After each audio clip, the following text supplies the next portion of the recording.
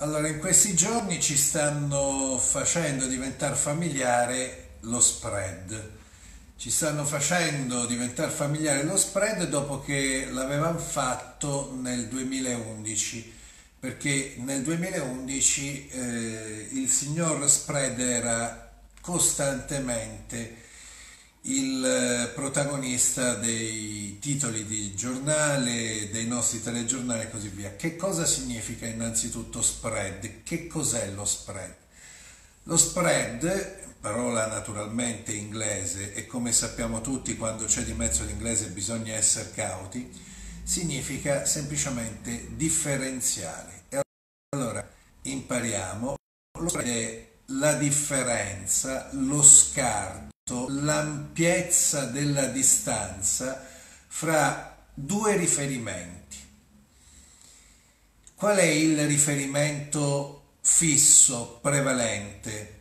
Nell'ambito dei titoli di Stato, in particolar modo dei titoli di Stato a durata decennale, sui mercati finanziari europei, lo spread viene calcolato fra il titolo di Stato tedesco, detto dagli operatori Bund, sempre decennale, e i titoli di Stato degli altri paesi, per cui attualmente ci interessa quello italiano, perché sono le fibrillazioni che i mercati finanziari operano sulle quotazioni dei nostri titoli decennali che vanno valutate. Ora, vi faccio vedere questo è il sole 24 ore non so se si può apprezzare ve lo avvicino. Questo è l'andamento dello spread nella giornata odierna perché come ovvio anche all'interno della stessa giornata di mercato le escursioni di prezzo possono essere così ampie da consentire agli operatori di fare tanti tanti soldi perché basta che per esempio vi sia una variazione all'interno della giornata di 6-7 punti percentuali ed ecco là che tu investendo 100 guadagni 6-7. Può anche essere vero il contrario perché si può perdere. Queste sono manovre, come voi capite, speculative. Per questo bisogna essere informati. Ed è questo uno dei motivi per cui ci attaccano insistentemente su questi versanti, perché essendo noi italiani dal punto di vista economico e finanziario ben poco informati, ben poco padroni dei fondamentali di queste discipline, noi spessissimo veniamo frodati. Ora, lo spread è un differenziale, dicevo, questa mattina lo spread, cioè la differenza eh, di valore fra il Bund tedesco e il titolo di Stato decennale italiano, il BTP a 10 anni italiano, questa mattina è stato anche di 145, attualmente mi pare che sia di 158,90 con una escursione che secondo il Sole 24 ore è stata pari nella stessa giornata al 6,64%. Come voi capite si tratta di un'escursione molto importante all'interno della stessa giornata. Però vi dicevo che è una misura differenziale, che lo spread registra la differenza di rendimento offerta da un titolo di Stato, quello tedesco in Europa, e quell'altro, per esempio quello italiano. Perché è importante calcolare questa misura? Perché la differenza di rendimento per chi come uno Stato è costretto ad emettere titoli di Stato per eh, indebitandosi come ovvio, per finanziarsi sui mercati, perché noi non possiamo più emettere moneta, ma questo è un altro discorso, non possiamo più coniare moneta e questo è un discorso ed è anche un problema, la differenza fra i rendimenti ci fa capire quale sia lo stato ritenuto dagli investitori più credibile, più capace di restituire nel tempo il finanziamento ottenuto e per cui si garantisce, diciamo così, un prestito ad un tasso più basso. Allora cerco un pochino di scrivere. Attualmente lo spread, abbiamo detto, è, è un pochino sceso, adesso è a 156,10. 156 e 10. Sono centesimi di punto percentuale. Questo alle 12.30 è lo spread sui mercati secondari europei e lo spread fra il Bund tedesco e il BTP a 10 anni italiano.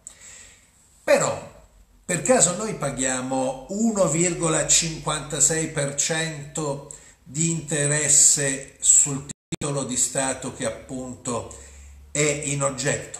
No. Noi paghiamo circa attualmente il 2,15, il 2,16. Che cosa significa? Che il Bund tedesco attualmente viene scambiato a 0,59 per cui un Bund tedesco rende 0,59 all'investitore. L'equivalente titolo di Stato italiano per la stessa durata rende il 2,15 circa e di conseguenza la differenza fra 2,15 e 0,59 è appunto 1,56%, siccome si calcola in centesimi, sono 156 centesimi circa. E allora, amici, potrà anche aumentare la differenza, certamente questo è un problema. Potrà diminuire la differenza, certamente questo dovrebbe essere un vantaggio. Però Adesso vi domando, se il titolo tedesco fosse quotato a 4 e il titolo italiano fosse quotato a 5, lo spread sarebbe inferiore, la differenza sarebbe semplicemente di 100 e noi potremmo magari rallegrarcene, ma in realtà noi pagheremmo molto più tassi di interesse, molto più interesse sul debito, sul capitale che abbiamo appunto accettato in prestito. Per cui cerchiamo di comprendere che lo spread è una misura relativa, ciò che effettivamente conta è ciò che effettivamente spendiamo per finanziare il debito.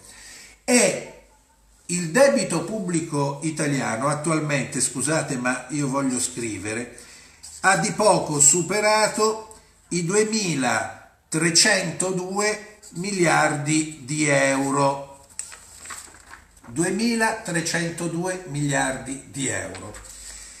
Il tasso medio, perché per ogni emissione di titoli di Stato c'è un'asta e di conseguenza ci sono eh, tassi differenti, il tasso medio è di poco superiore al 4%.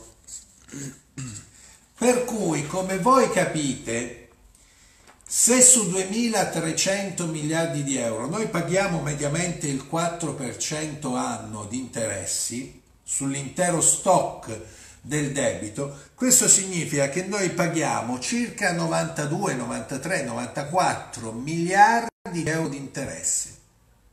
Una cifra enorme, folle, che noi possiamo e dobbiamo abbattere. Naturalmente con intelligenza e con prudenza.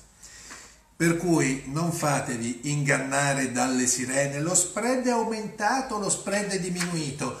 Per tutto il 2017 lo spread è stato superiore a 160, addirittura è arrivato anche a 200, per cui essendo attualmente in tempo reale qui sul sito del Sole 24 Ore dato a 156,10 dobbiamo dire la verità si tratta di una differenza sì importante ma inferiore a quella che si è avuta per l'intero 2017 Dunque dobbiamo concludere che non c'è assolutamente da temere cataclismi, terremoti, ma che c'è soltanto da operare con attenzione, vigilando.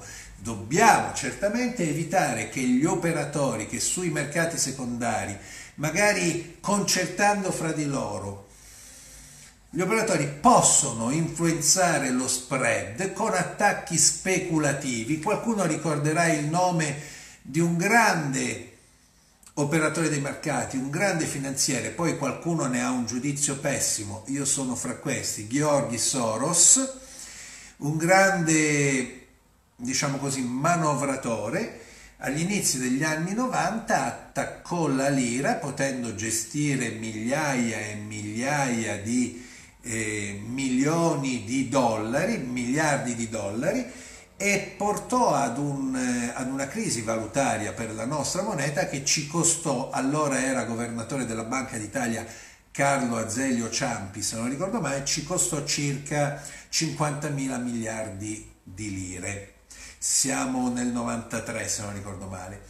Ora, che si capisca, noi dobbiamo sapere, perché se non sappiamo, quelli fanno bau bau e noi ci impauriamo. Noi dobbiamo essere consapevoli, per cui per combattere la paura lo strumento, il rimedio più efficace è la conoscenza. Studiamo tutti. Lo spread non è una brutta bestia e soprattutto in questi giorni non sta inviando segnali preoccupanti. Per dire, per dire c'è stato un aggiornamento, attualmente lo spread è a 157 e quindi la variazione giornaliera è del 5,37%, è inferiore ai massimi odierni.